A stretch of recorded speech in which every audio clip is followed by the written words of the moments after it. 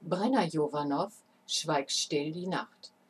Dieses Buch hat mich ganz einfach wegen diesem Wahnsinnscover angemacht. Es ist, sieht schon düster aus, es sieht geheimnisvoll aus. Das Cover verspricht eine Mischung aus Rosemary's Baby und Die Hand an der Wiege zu sein. Aber ich bin ja ein kleiner Hasenfuß. Ähm, es ist ein Jugendbuch und darum dachte ich mir, da kannst du dich dann trotzdem ranwagen. Das Buch hat durchaus wirklich eine düstere Atmosphäre, die wird wunderbar aufgebaut und die zieht sich auch durch das ganze Buch.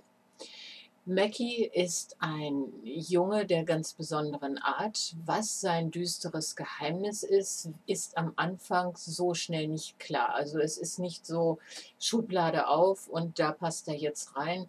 Er ich war mir die ganze Zeit nicht ganz sicher, ist er jetzt ein Vampir, ist er ein Werwolf, ähm, was ist er eigentlich, was er wirklich ist, verrate ich hier auch gar nicht erst, sondern das solltet ihr alle selber rausbekommen. Äh, er ist jedenfalls kein gängiges Klischee, sage ich es einfach mal so. Ähm, das ist auch einer der Gründe, was ich an dem Buch sehr, sehr gut fand es sind jetzt nicht die typischen Horrorgestalten, die da wieder auftauchen äh, zur großen Monsterparty, sondern es ist wirklich ähm, mal etwas ganz anderes. Äh, die Autorin bedient sich also auch der irischen Mythologie. Das fand ich eigentlich auch mal ganz toll.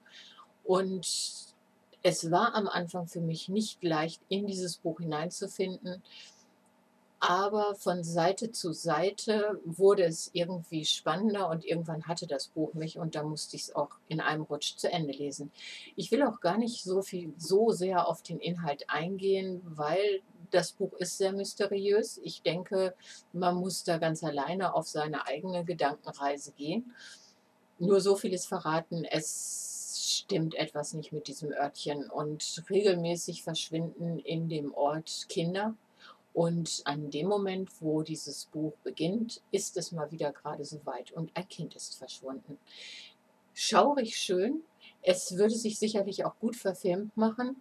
Ähm, ein Buch, das mal ein klitzekleines bisschen anders ist wie die ganz normale Fantasy. Gewöhnungsbedürftig auf alle Fälle. Nichtsdestotrotz hat es mich fesseln können und ich fand es richtig gut.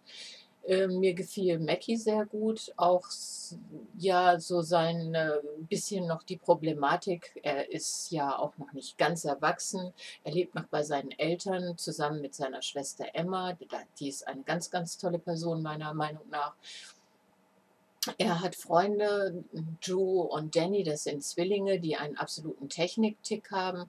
Und er hat seinen Freund Roswell, auf den er sich jederzeit und immer verlassen kann.